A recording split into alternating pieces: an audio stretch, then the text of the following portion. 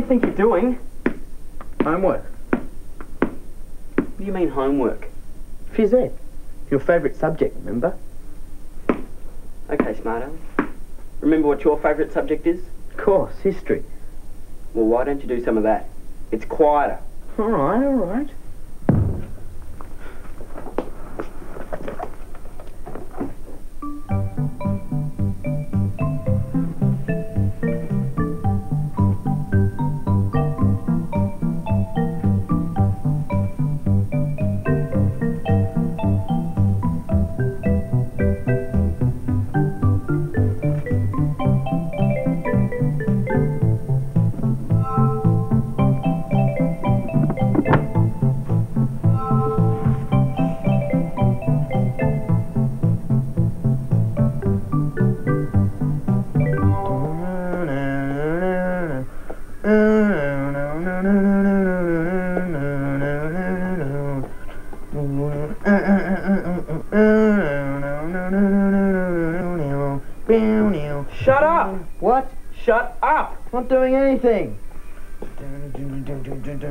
Dear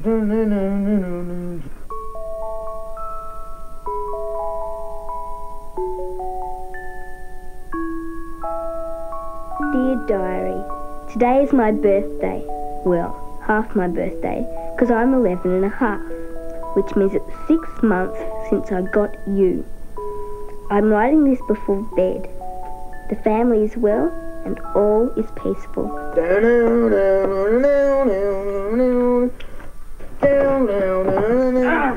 Help! Help! You're hurting me! Help! Whose turn is it? It's yours, of course. I've had 'em since school finished. Oh, give them a minute, they might sort it out. Get off!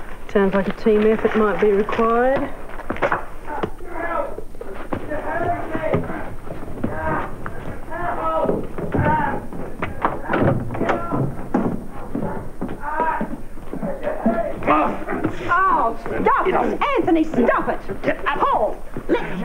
Let me! Right, now what's going on? He attacked me. I was just lying on my. bed. I was trying to do my homework and he was deliberately trying to annoy me. He jumped on me and mangled my headphones. Look. I was going to borrow them. How am I supposed to do my work with this veggie in my room anyway? Well, it's his room too, you know. Yeah, but I can't. Before. All right, all right. We'll talk about it in the morning.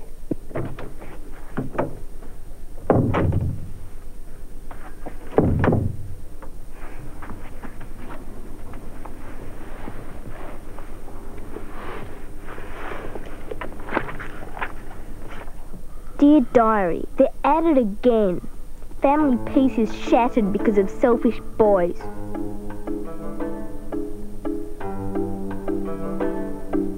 Why can't they be friends? Like Nita and me. We never get violent. Paul should know better. He could learn to get along with other people, even with Anthony.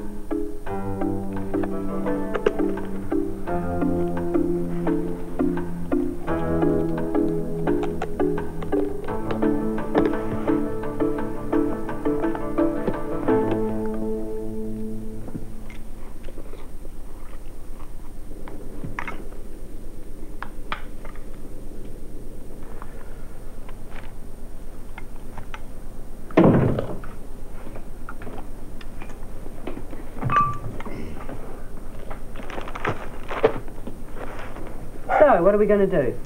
Send him to Africa. Very funny. Now, we don't think it's fair to ask Anthony to share a room this year because he has to study very hard. So we think it's best if Paul moves into Douglas's room That's, That's not fair. this afternoon. My room. I can't share a room with him. Well, I'm sorry if you're unhappy about it, but we think it's the best thing to do now for everyone. Well, I think it's a good idea. Just because you don't have to move. Yeah, just cause.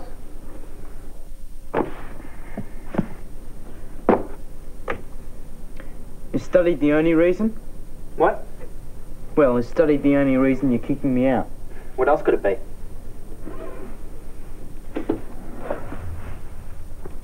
What are you doing? Taking my lamp. But I need it. Okay, then what do you give me? You can have my Bullworker. You can't be serious. What about the calculator? It's already mine, Anthony. I know. I'll have this. No! Why not? You don't water it. You don't even know what it is. Yeah, but Mari gave it to me. What if she comes around? Tell her it died.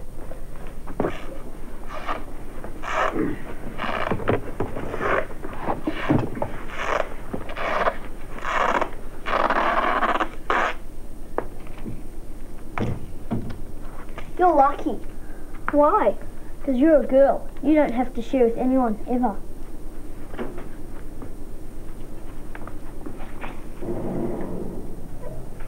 Mum, if I was a girl, I have to share? We all have to share, darling. Yeah. Will I have to share my room? Later, Douglas, you know it's my reading time. Wait until the bell rings. But I'll forget the question.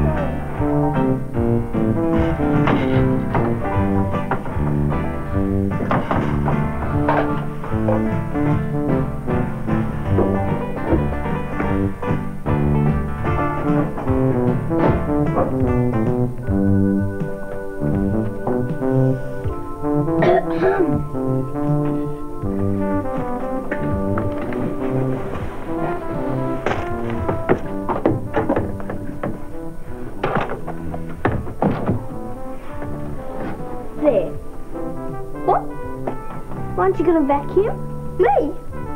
Well, I can't. I get hay fever. Mum says I don't have to. I'm only going to do my side. Paul can do his.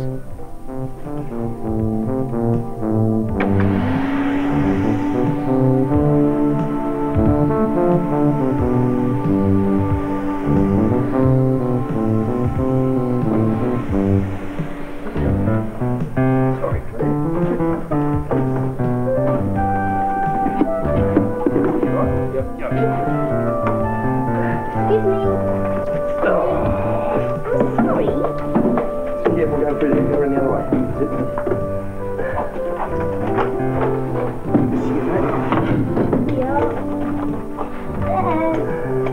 It's not all going to fit. Don't you worry about that.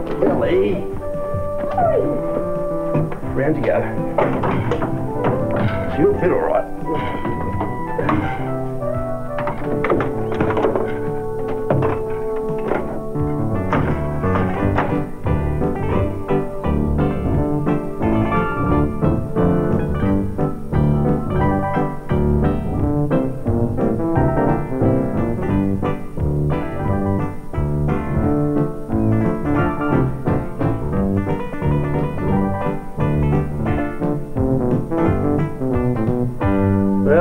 Be a change of plan. Does that mean No. Paul will still move in with you, Douglas, but you two will have to move into Ellie's room, and Ellie will have to move in here. That's not fair. Ellie's got pink walls. Dad, oh, I'm sorry, Grub, but there doesn't seem to be any other way. well, can't we change the shed and the garden into a study? Then Anthony can work in there and no one has to move rooms. No, that's my shed. And it's going to be my best brew ever.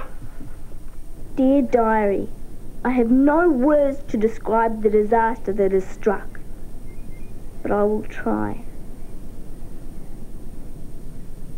Today, I must leave this place forever. I'm to be evicted from my own room, and horrible boys are to take my place. And I have to live in a slum. You ready, Ellie? Yeah.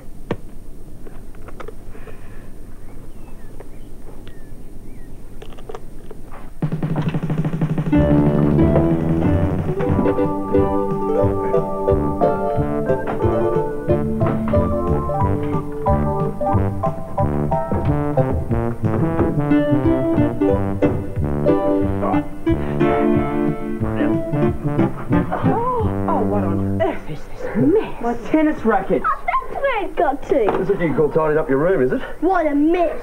Ellie, look, this is the dress Auntie June gave you. You told me you'd lost it. Oh, and your beautiful poncho. What's this doing under the bed? You're oh,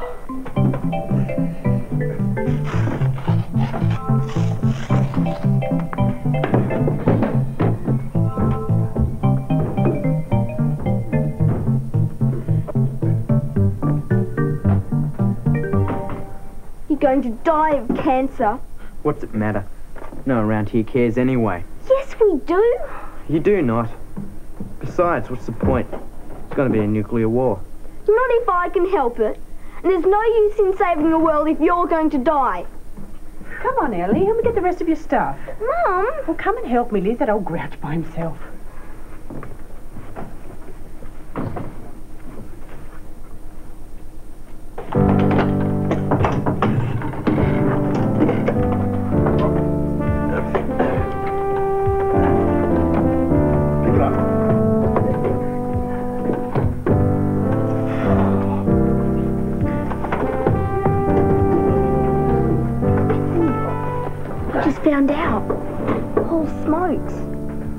Pack of cigarettes in.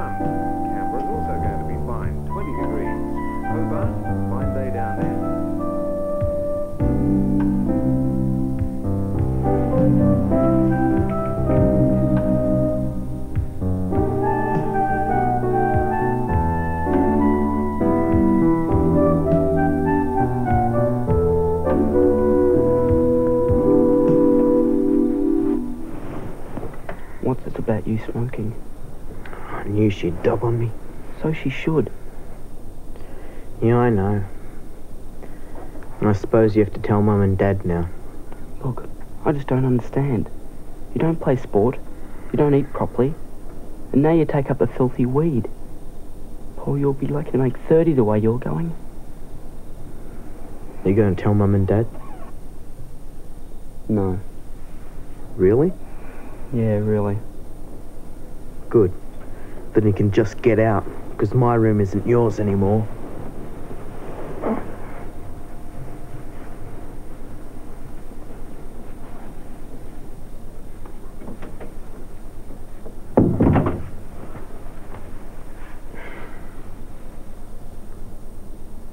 It's no use. But he's going to die. I know. But what can we do?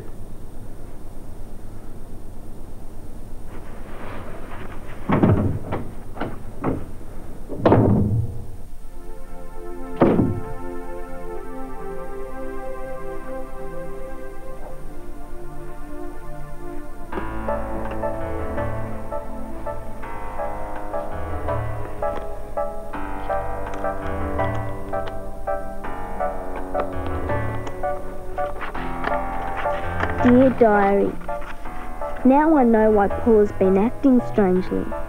It's the nicotine in his blood. He's addicted to smoking. I don't know what to do. I couldn't bear it if he got cancer. If he died, there wouldn't be any boy on this planet who could take his place.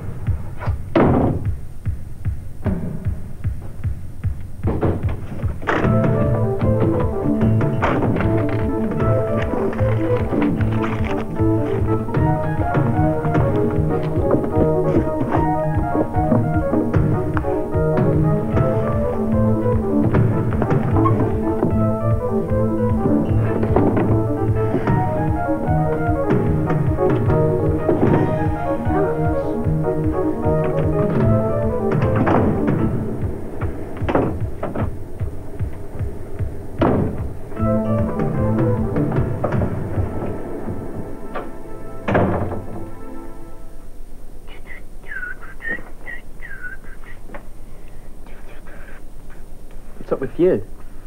Nothing. Nothing.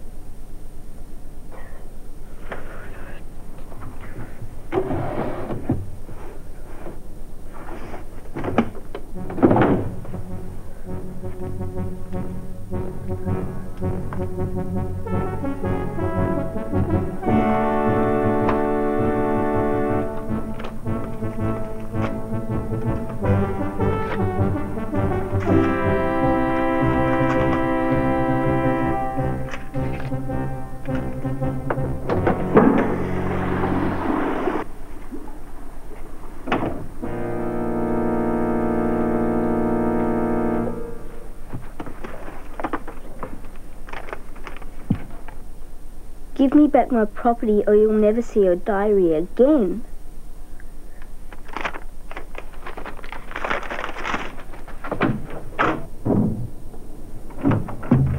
Give it back. It's personal and private and secret and you shouldn't have taken it. Well, you shouldn't have taken my smokes. That's different. I don't see how it is. I'll tell Mum. Go on then. I dare you. I will.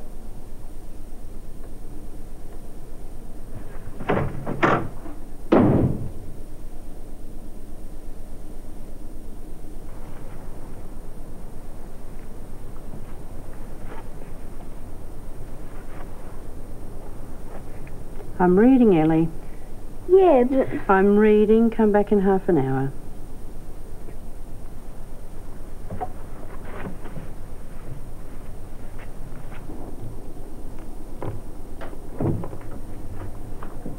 Paul, please give it back. All you have to do, Ellie, is give me back my cigarettes. Can't. Flush them down the toilet. Well, I only wanted you to give them up. Okay. Here's a new deal. I'll seriously consider giving up smoking if you give me the key to your diary. It's only fair.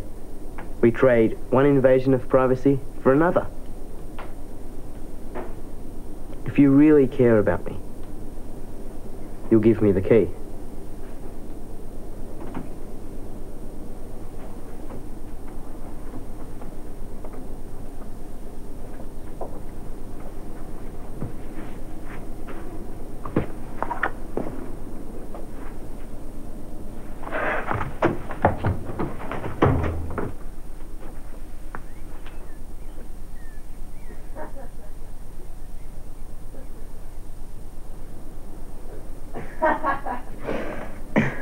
Anita isn't my best friend anymore because she called me a pig-headed bossy boots.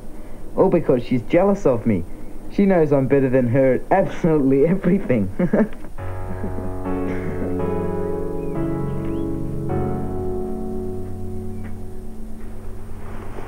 What's going on? He's reading Ellie's diary.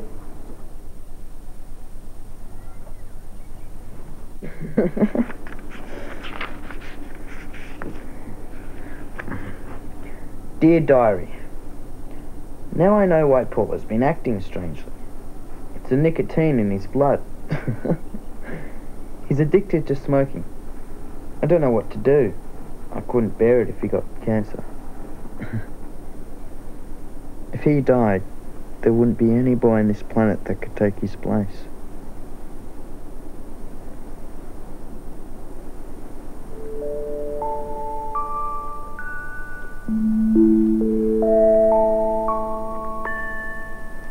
Much did you read? No, just the start. And and the last bit.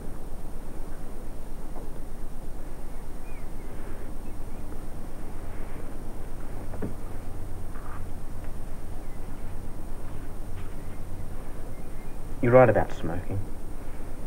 I was gonna give it up anyway.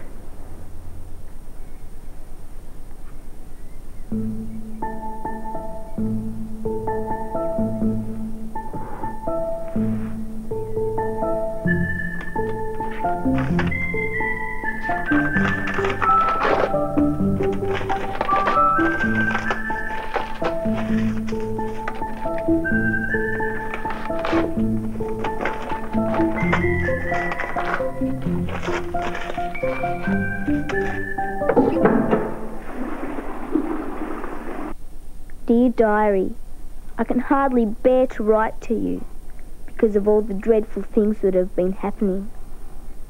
It's a good thing that you don't have a face because I wouldn't be able to look you in the eye. What a price to pay to have you read by another person, to have to share our secrets. But the sacrifice was worth it. Paul is safe from danger. And everything is almost back to normal.